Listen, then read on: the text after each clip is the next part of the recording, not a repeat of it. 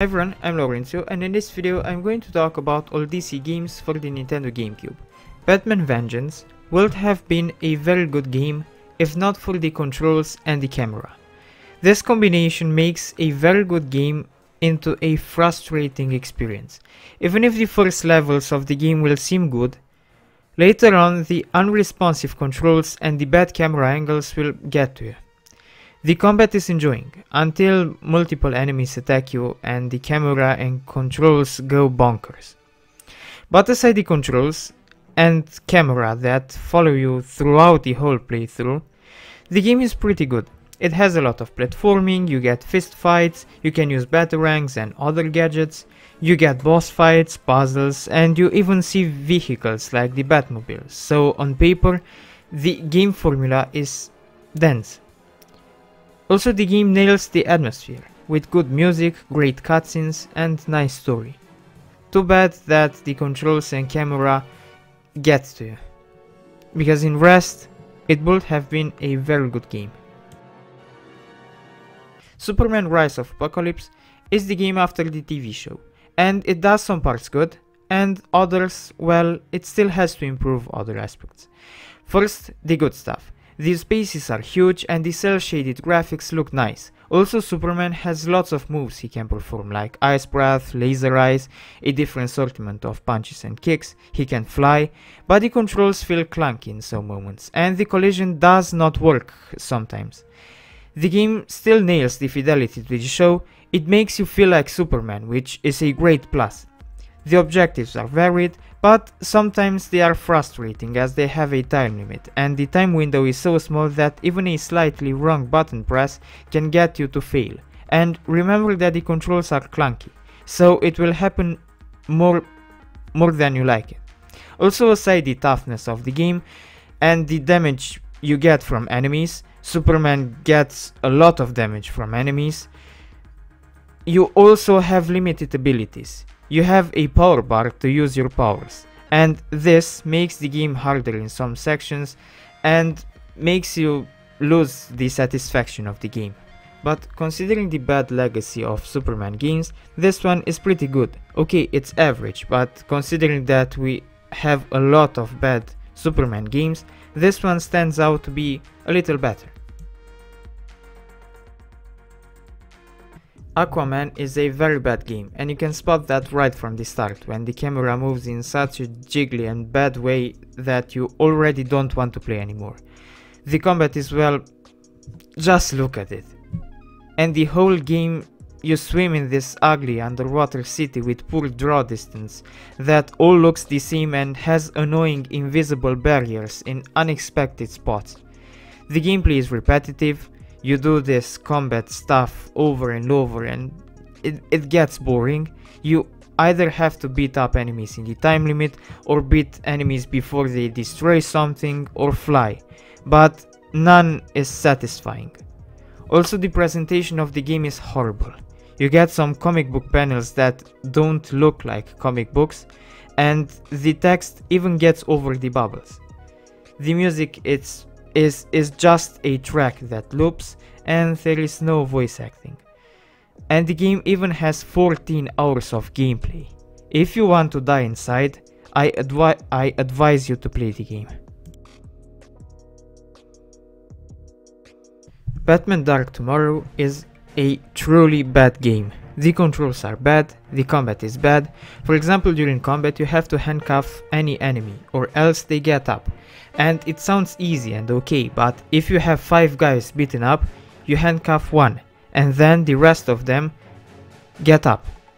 You beat them again, you handcuff one, and then the rest get up again, as you can as it takes time to handcuff one guy. And seeing the animation over and over again it's annoying and it's very tedious. Also the use of the bad gadgets is annoying too. For example if you want to use your grapple, you have to leap of faith off a ledge and pray to attach to something and not fall.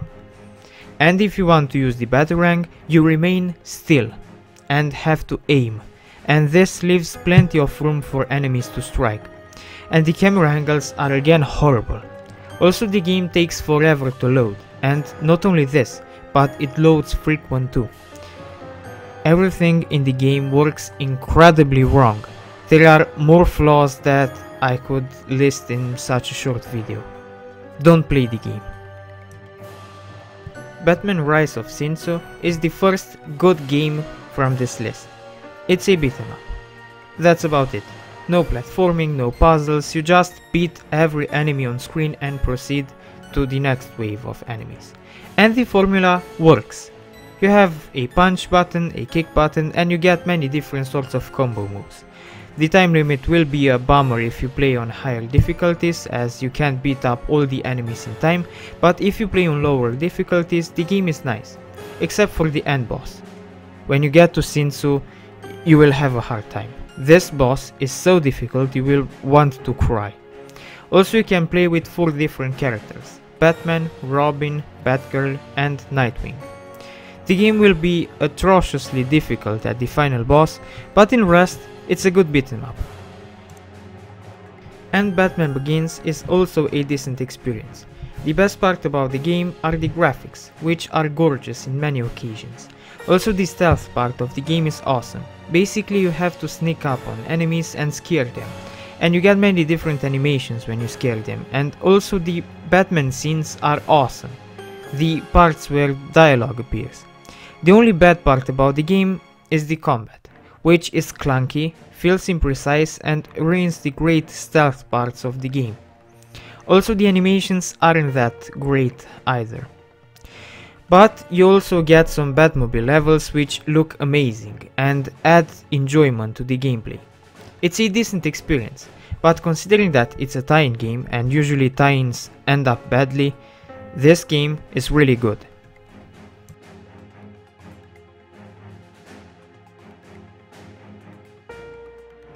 Teen Titans is a well-made game. It's a brawler. You get to play with all 5 Teen Titans at once, and by a button press you can switch between them. Because all members are on screen at once, the screen will be filled with action, and I have to say that it's satisfying. As you progress more and more, you unlock more moves. The graphics look really good, and they manage to catch the feeling of the show. It's a great game, I recommend you to play it. It, it it's cozy. Sure, it's just your stereotypical brawler. You beat up the wave of enemies and progress to the next wave up until the boss arrives. But it's cozy and I liked it. And Catwoman is another bad game. The animations are weird, the controls are bad, and even the combat is bad. You can't knock down enemies with just hitting them. If you just hit them, they get back up. You have to knock them into the environment to defeat them. The camera angles are bad and you can't adjust the camera and the platforming is lousy. Not only in concept, but the bad controls make the lousy platforming parts even more of a chore. Also, on rare occasions, enemies auto-defeat themselves. I mean, just look at this cop throwing himself into the dumpster. Okay, so this was the video. If you liked it, please hit the like button and subscribe. If you want to support me in my pursuit to review as many video games as possible, click the join button and choose one of the perks. If you want, you can follow me on Twitch, Instagram or Discord, I've left the links to those in the video description.